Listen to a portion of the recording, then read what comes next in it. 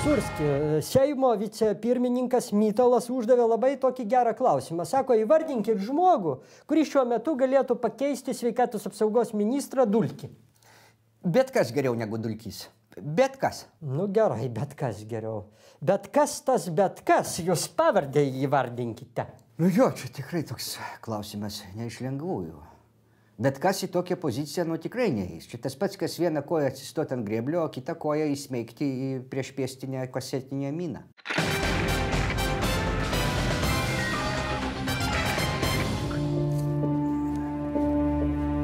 Leonardai! Tu, tu negali taip pasielgti, tu negali Nu neverk, mes jau apie tai kalbėjom, aukselį. Aš privalau, aš tiesiog privalau. Bet kodėl tu? Negi nėra kito žmogaus, kuris galėtų pakeisti Dolkį ir tapti sveikatos apsaugos ministru. Aš privalau tai padaryti. Dėl Lietuvos. Ką? Dėl mūsų visų. Nori girdėti. Tai mano pareiga. Neverk, na. Tuoj atvažiuos Klemensas, žadėjo mane iki Vilniaus pavežyti. Bet, bet tugi pats žinai, kad iš ten negrįžtama, kad tai, tai savižudiška misija tapti sveikatos apsaugos ministru dabar. Kartais ne mes renkamės misijos, o misijos renkasi mus. Na, dulkys jau savo atkentėjų, dabar mano eilė, kaip sakosi šitą minėtą. Leonardai, brangusis, vaikai neužauginti, karvės nepašertus. Aš privalau. A, va ir Klemensas jau atvažiavo. Leonardai, bet gal dar ne vėlu. Nu. Mes, mes galime pavykti. Na, ei. Mes galime pasislėpti miške. Klausyk, mes turime užsienį giminių. Baig čia, sakau. Aš pats pažadėjau ir pasakiau, kad pasisiūlys ir pusę sveikatos apsaugos ministro.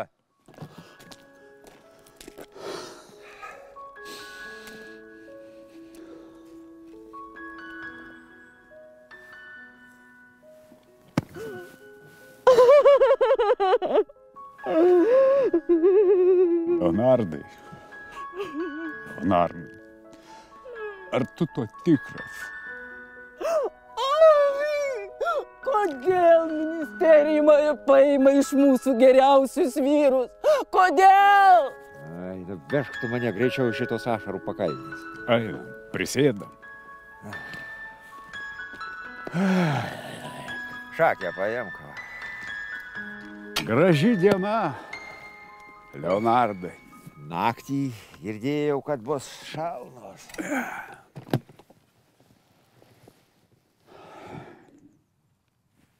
O gal, gal vis dėlto nereikia, ką? Nevažiuok tu tenai. Nepasigailės jie tavęs. Ten nieko nepasigaili. Apšaudys tave iš visų pusių, pamatysi.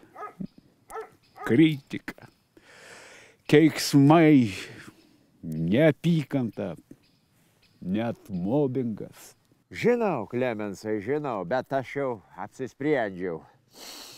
Kasgi jai neš, nu?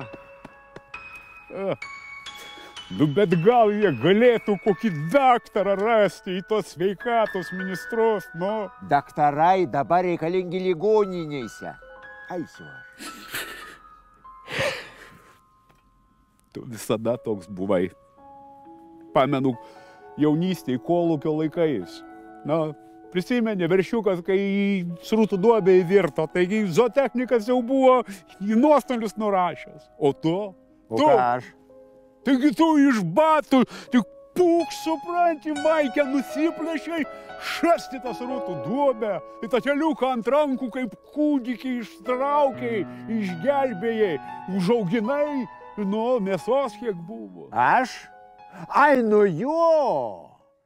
Atsimenu, aš paskui tris, kaip sakosi, tris savaitės negalėjau iššokius dėl kvapų. ne. Tai tu ir dabar tą patį darai.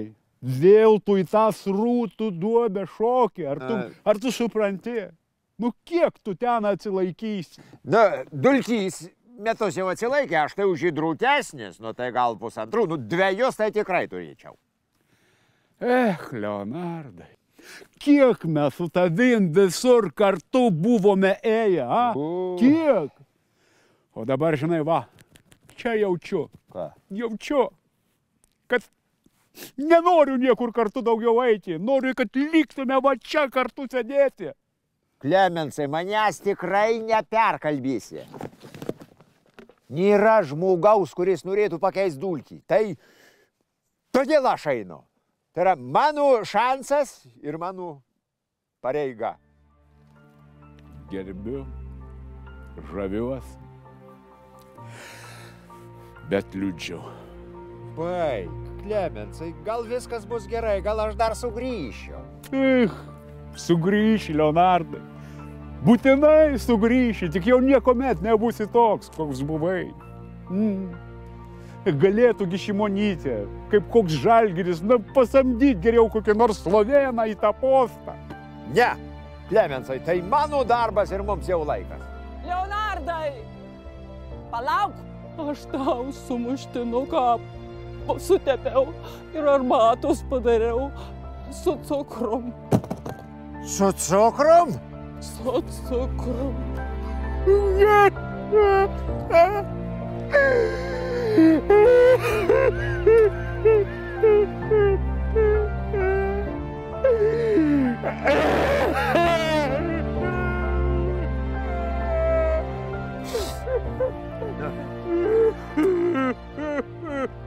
Gerai, baig, žlium čia. eina.